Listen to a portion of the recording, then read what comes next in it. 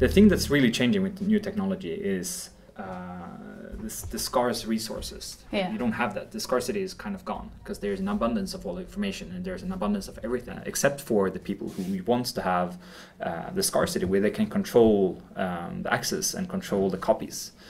And that is not only about movies or, or media. It's also about you know access to classified in documents, like in WikiLeaks case. Yeah. It's exactly the same. Everyone can have access to that, which means that there is a power shift toward in, in the political structure uh, as well as in the media structure and all of these different things. So if that was the possibility in the real world, uh, that would be great. Yeah. But as long as we can't copy everything physically, uh, that won't work. Maybe in the future that will work though, with the 3D printers and, and uh, like the printing of uh, food and so on, it might work. And then, uh, but then we'll be a totally radicalized society.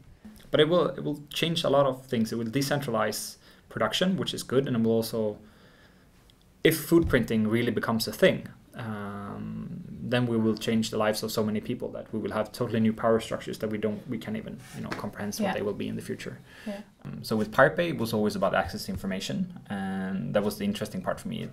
People don't understand how big the industry of information is. Uh, I don't think people have this clue because we're always talking about like oil being one of the biggest industries. Yeah. But oil is not even, you know, if, if you look at the top 10 richest companies in the world, there will be informational companies. Will be Microsoft, Google, Apple, all of these companies are bigger. Really?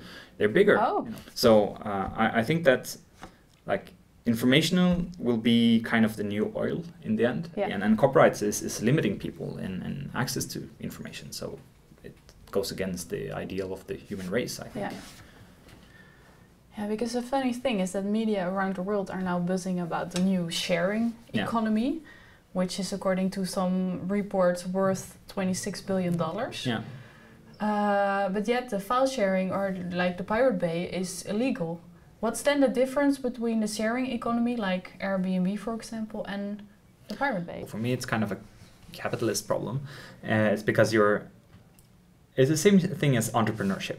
You know, Yeah. everyone's talking about entrepreneurship saving the world. It's creating new jobs and all of this. So the sharing economy for me is not very. Uh, it's not very shared. It's more giving people to new entrepreneurs who's building new capitalist structures. Yeah. So I'm not, even though we might benefit from it, we're also becoming entrepreneurs and we're also becoming companies ourselves, which reduces our private lives and it Yeah. reduces all of those things as well. So there is an implication of our personal lives with that.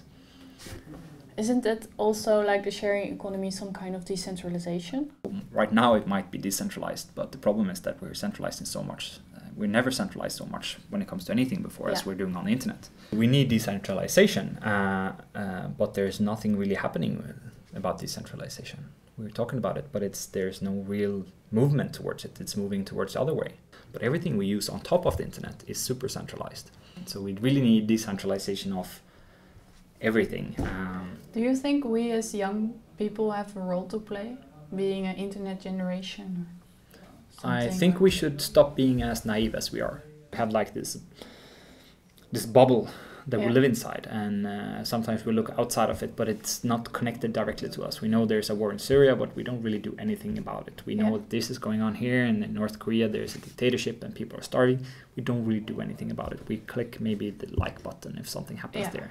So I think we should be more active, more naive, less naive, and uh, you know put some more demands on society to change.